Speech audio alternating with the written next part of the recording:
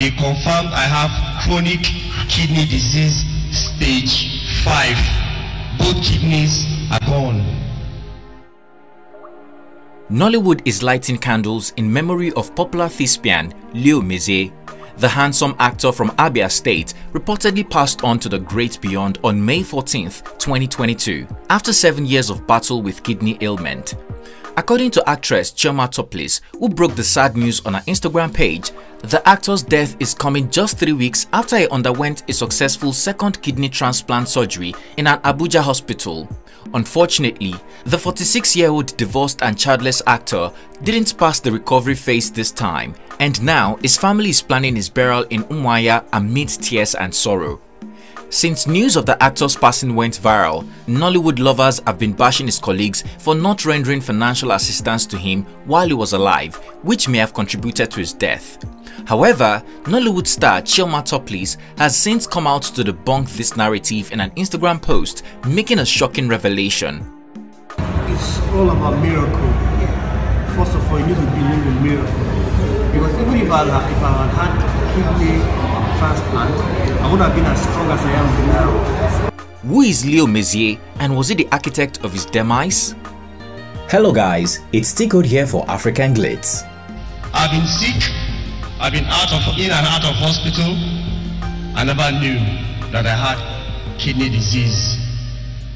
Until when my wife was so worried, she had to start using the symptoms of my body to go online and discover what was wrong. We went to see a doctor and they confirmed I had chronic kidney disease. Mezie Onyemachi Leonard, better known as Leo Mezie, is a popular Nollywood actor who needs no introduction among millennials and the generation before them. Born in Umuahia, Abia State, on January 25, 1976, he kickstarted his career around 1996 and rose to prominence in 2003 after featuring in the Nollywood blockbuster La Vista. I know what this guy go through before he can buy a hand. I'm telling you. Oh, shit. Would later act in other movies such as Royal Messenger, Final War, Total War, Heart of a Slave, Full Wrestle, Empty Throne, No Man's Land, and several others. For years, the handsome actor rocked the silver screens, entertaining millions of Nigerians, families, and children with Nollywood movies. After many years of sweat and hard work in the entertainment industry, his career sadly did not take off beyond the Asaba movie sect of the industry. The actor however got married to ex-banker Maureen Mezie. Sadly, the union had to seek dissolution in January 2022 after four years together. The marriage did not produce any children as the actor was battling for his life and health throughout the marriage.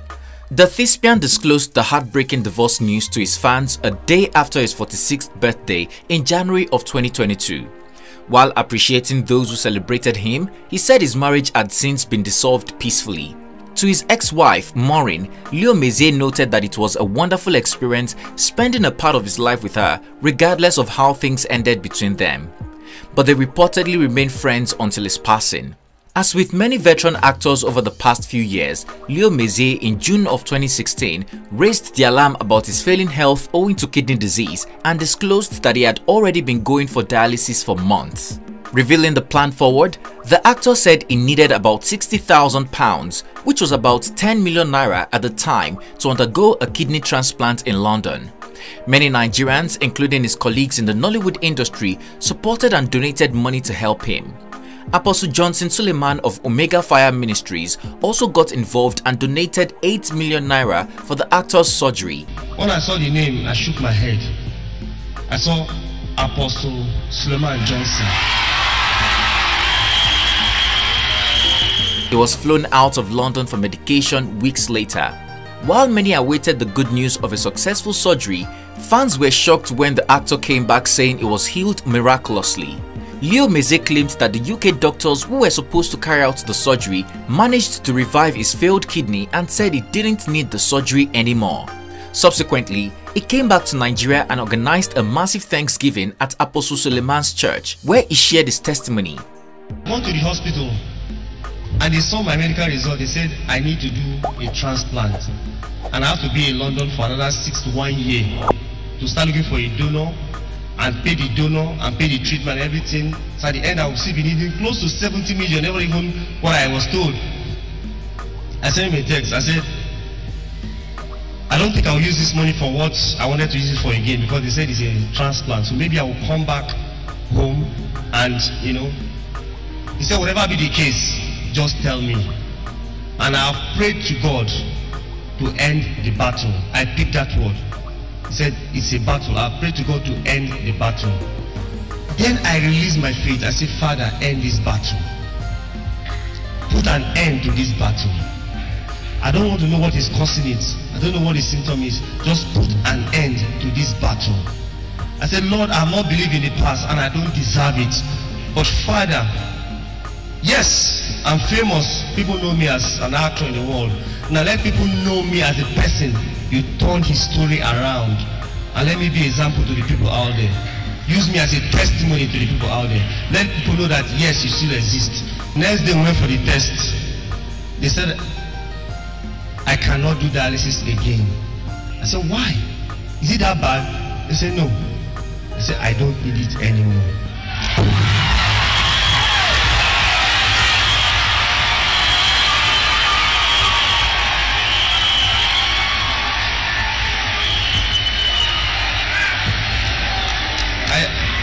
I look, I look, I look at the doctor.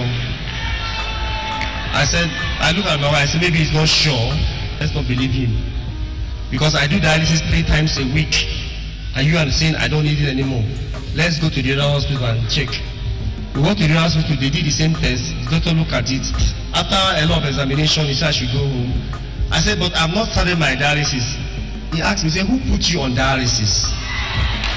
I said, no, I've been doing dialysis in Nigeria three times a week. He said, what are the doctors doing back there? You don't need dialysis. I said, wow. I, look, I just look at the doctor in the hand, I fold my hand. I say, if only you know what they saw. He said, for now, your kidneys are stable. Just like that, the actor was back on his feet again. He became friends with Apostle Johnson Suleman and even defended the man of God in the wake of the scandal spawned by his alleged side chick, Stephanie Otobo, in 2017. The actor said our allegations do not hold water as the pastor is very generous and doesn't even need to see someone before helping them financially. In 2017, he eventually unveiled a kidney foundation with a Dublin-based NGO where he provided free lectures and screenings on kidney disease and diabetes. What really happened? What Well, really happened? it- It's all about miracle. First of all, you need to believe in miracle. Because even if I, had- if I had kidney transplant, I would have been as strong as I am now. It takes a long period of time before you can be so strong and healthy to move around, you know. It's just like a switch. I didn't have any surgery, and no surgery at all. How is that possible? That's why I say that to miracle. Because I I went to United Kingdom expecting for an operation and surgery. And when I got there, even the doctors were were looking towards an a surgery. You know, Sadly, two years later, Leo Mezie was back in the news over reports he was battling with his life again. Members of the Nollywood Actors Guild visited him at a specialist hospital in Ilupeju, Lagos during one of his dialysis sessions in March of 2019. The actor explained that his illness started again around April 2018 and his condition has gotten to a critical point. The La Vista star actor said he could no longer afford the 45,000 naira per session fee for his dialysis, adding that he used to go for the sessions three times a week in the past before financial issues caused him to reduce it to twice a week, then to once a month or once in two months. According to the alien actor, he collapsed a few times because he couldn't maintain the recommended diet and medication, causing his other functional kidney to be compromised in need of millions for more treatment. Hello people, this is your boy Leo Mezie. I want to use this medium to say a big thank you for all your support financially. This time around, Prophet Jeremiah Fufeyin of Mercyland Ministry donated 3 million naira to him.